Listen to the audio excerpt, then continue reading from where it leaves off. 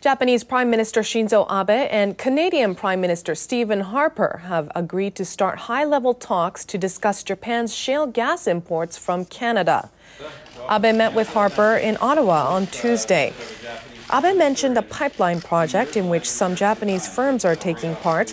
They are hoping to start shipments to Japan in six years. Abe asked Harper to approve the shale gas export plan as soon as possible.